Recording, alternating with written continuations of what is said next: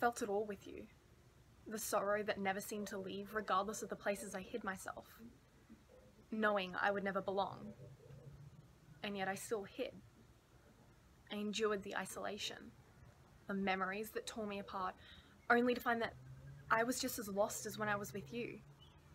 Hammering on the invisible walls, my fists pounding on the surface in the hopes someone would save me from myself, that someone would notice that I still belonged. But no one ever did. So I stopped. I allowed the silence to cling to me in the way that I once held on to you, foolishly thinking it would last forever, only to realize my mistake.